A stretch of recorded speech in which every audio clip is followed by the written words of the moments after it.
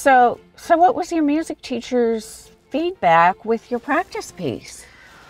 Well, he said he thinks that my piece, the Vivaldi Spring, he said it was good, but I need to work on my scales. Um, if I can get that down, I should be able to ace it in no time. Oh, I have no doubt. Yeah. Thanks, Grandma. Sure.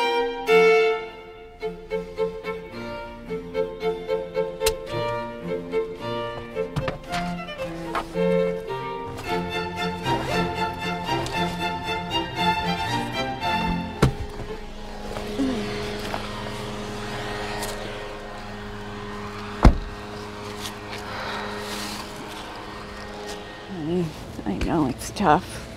no, I'll, I'll be fine. But Grandma, I know you will. I, I need those private lessons, though. Yes, you do. I know you do. Well, could you help me out? I'm going to do my best. I'm going to do my best for my girl. Okay, thank Yes. you. Where's Mom?